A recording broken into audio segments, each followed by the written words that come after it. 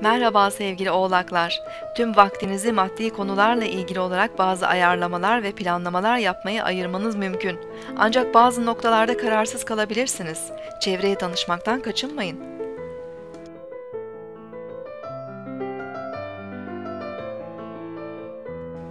Bugün 17 Haziran 2014 Salı, Mars günündeyiz. Kova burcunda ilerleyen Ay İkizler burcundaki Güneşle üçgen açı yapacak.